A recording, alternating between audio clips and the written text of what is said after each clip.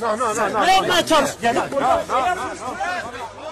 Dün saat 1 civarı ar- e, sendikadan arkadaşlarla beraber 10 kişilik bir grup e, oluşturarak iş yerine gittik. E, hukuki haklarımızı savunma amaçlı tamamen bir basın açıklamasıydı. Basın açıklaması esnasında taşlı ve zopalı saldırıya uğradık.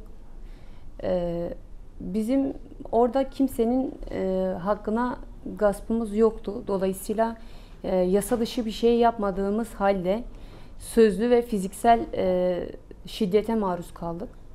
E, ben bir kadın olarak, bir emekçi olarak bir daha bu tür şeylerin yaşanmaması için kendi haklarımızı anayasal güvence altına alınması gerektiğini e, şiddetle e, tekrarlıyorum. Bunların yaşanmaması gerekiyor fakat e, emekçileri güçsüz buldukları için bu hakları buluyorlar kendilerine işverenler. Bunlar sürekli yaşanan şeyler bizim toplumumuzda.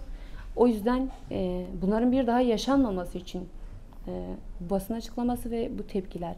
Taleplerim tazminatımın ödenmemesi, e, iki aylık sigortamın ödenmemesi, 8 günlük gömiyemin ödenmemesi.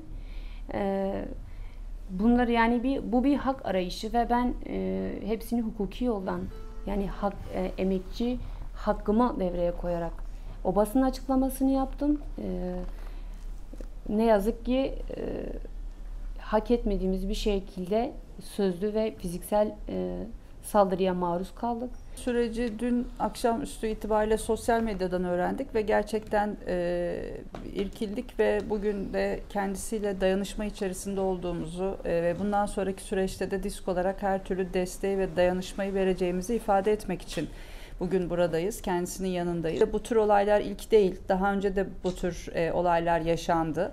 E, ama burada e, arkadaşımızın bir kadın olarak ve bir işçi olarak e, bu konuda gösterdiği direnç e, ve bu konuda gösterdiği cesaret de önemlidir. Biz e, o nedenle de ayrıca e, bir daha kendisinin de ifade ettiği gibi böyle olayların yaşanmaması için bunun e, kamuoyu nezdinde bilinmesi ve gerekli hesabın sorulması için de hukuki bütün süreçlerde yanında olacağımızı bir kez daha ifade etmek isterim.